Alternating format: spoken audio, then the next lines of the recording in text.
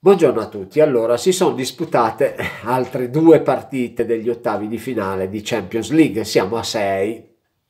Stasera c'era Villarreal, Juventus e Chelsea. Lille. E devo dire tutto come previsto. In sede di pronostico ho detto Villarreal, Juventus, mi arrischio l'isfisso. E vi avevo anche accennato, per me finisce 1-1, 2-1 andate a vedere il video. Come farebbe Bonolis no? fortuna ma anche minimo di intuito eccetera. Il Chelsea batte il Lille di, misu- di misura. Un gol per tempo e si chiude il discorso. 2-0 credo che il Lille difficilmente al ritorno riesce a fare 3-1 4-2 2-0 contro questo Chelsea che mentre vedevo lì la partita del Chelsea mi è venuta in mente una, una parola che è perfetta per il Chelsea di Tuchel essenziale. Loro fanno l'essenziale sono essenziali. Difesa tranquilla sanno che il gollettino lo trovano giochicchiano decentemente senza essere fenomeni il loro lo fanno, primo non prenderle, tanto il gol lo faccio lo stesso, e un po' di spettacolo comunque lo danno, ma senza esagerare, essenziali, l'essenziale, come cantava anche Mengoni se non sbaglio. Viceversa la Juve passa in vantaggio, Vlaovic si presenta, buongiorno sono Vlaovic, gioco in Champions e voglio segnare subito, poi sparisce perché dopo non ha fatto più una beata, forse ha fatto un tiretto che Rulli, il portiere del Villarreal, gli ha bloccato un po' così, ma gliel'ha bloccata. Poi per il resto non è che ho visto chissà che cosa. Ho visto una Juve che si è, ha fatto il solito gioco, a Ortobuso, si gioca tutti in difesa, si tiene il risultato e un Villareal che faceva girare la palla, faceva girare la palla, fino alla fine ha trovato il pertugio perché si sono addormentati.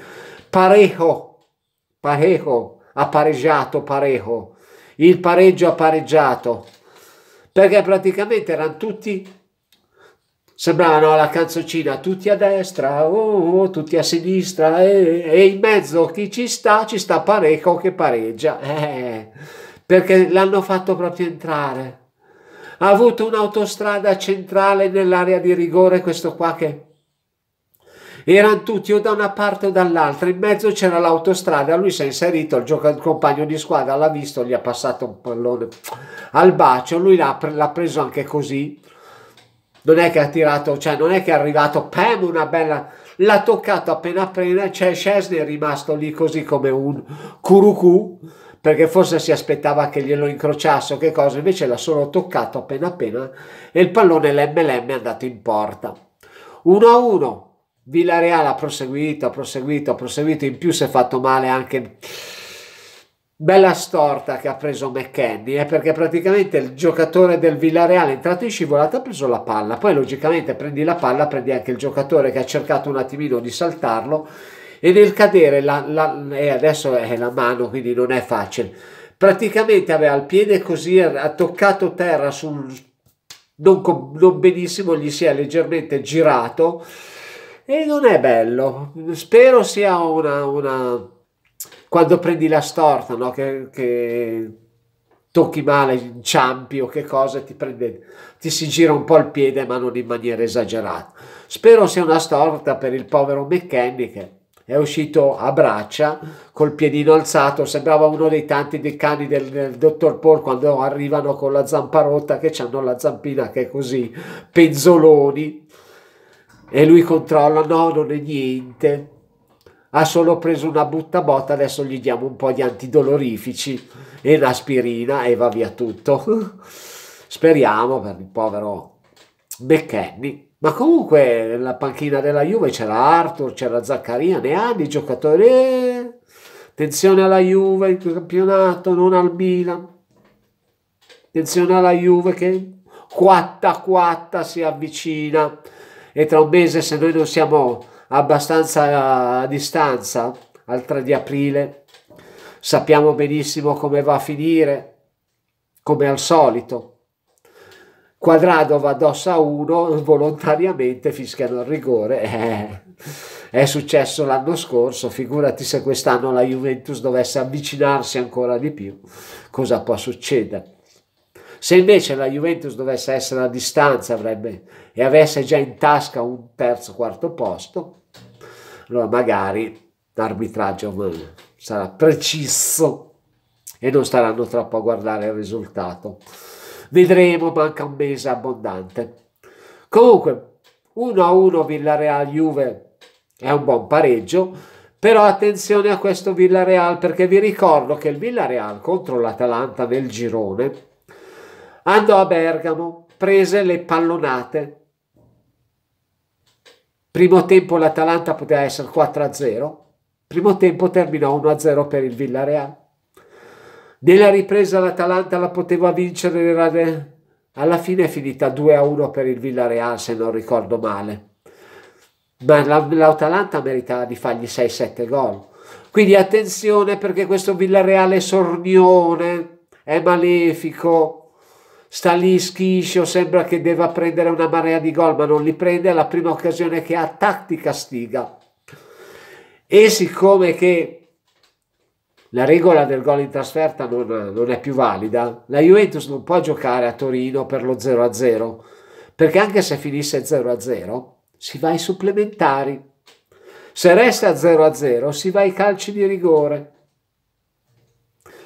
Ormai la regolina lì, oh, ho fatto 1-1 in trasferta, mi basta lo 0-0 per passare il turno, non funziona più.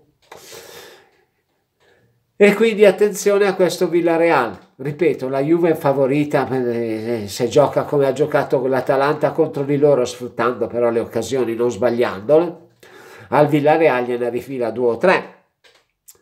Ma se non le sfrutta, attenzione a questo Villareal, perché nella ripresa li ha messi un po' sotto, eh? ha trovato il pareggio, ha rischiato anche di fare l'altro gol hanno preso anche una traversa nel primo tempo, quelli del Villareal con Scesni che era lì, che era dall'altra parte, e la palla pem, sul palo traversa, lì qualcosa di simile. Chelsea Lille, ve l'ho detto, partita scontata, credo che sì, magari il Lille potrebbe vincere 2 a 1 così per il Chelsea magari segna pronti via segna e poi lascia, lascia sfogare il Lille, gli regala la vittoria giusto che così prendono il bonus partita, tema credo che il Chelsea abbia la qualificazione ai quarti già nel saccoccione. Avers nel primo tempo, Pulisic ben servito da Cantè nella ripresa che ha fatto vedere ai giocatori come si fa lo scavettino, il tiro all'angolo sull'uscita solita del portiere Yupidu, no? Che ormai escono come cicciolina, escono a gambe aperte, a braccia larghe e però prendono il golo sotto le gambe o se no se allargano solo le gambe ma non allargano le braccia gli fanno il tiro a, verso l'angolino opposto a mezza altezza che non lo prendi più perché le gambe sono a terra e invece i nostri pam, bei tiri raso terra addosso al portiere che ti esce incontro e tu non segni mai. Comunque Villarreal Juve 1-1 Chelsea Lille 2-0 Chelsea che ipoteca la qualificazione, Juventus che se ne deve ancora giocare.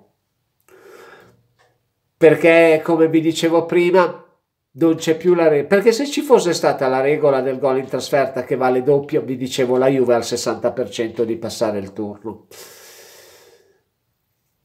Ma con l'1-1 al Villarreal va è alla pari, 50-50, la Juve deve vincere, il Villarreal deve vincere, il pareggio con qualsiasi risultato manda ai supplementari. E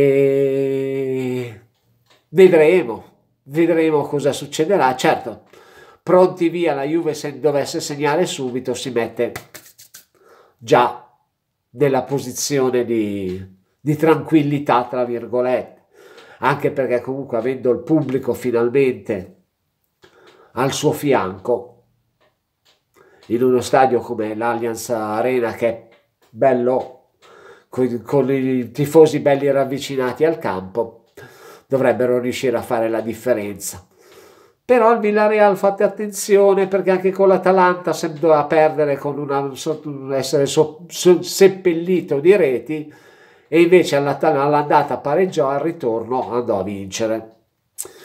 Detto questo, buon viatico per la Juve, una buona partita, ricordiamoci che il Villarreal ha vinto l'anno scorso l'Europa League, eh?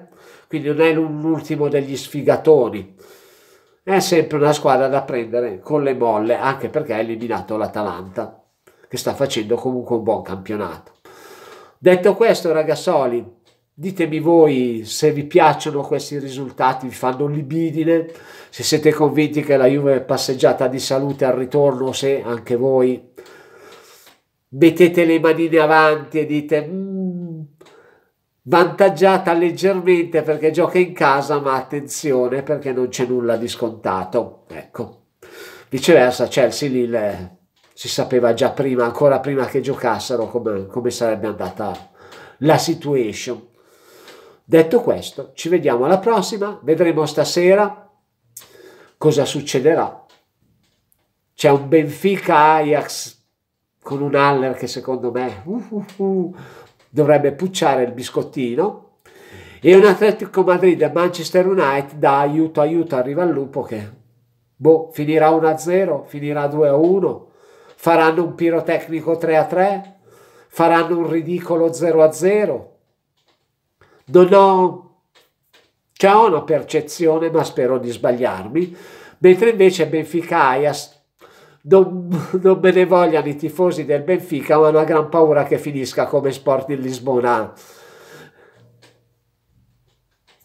Manchester City e non dico altro. Detto questo, ci vediamo alla prossima. Ciao!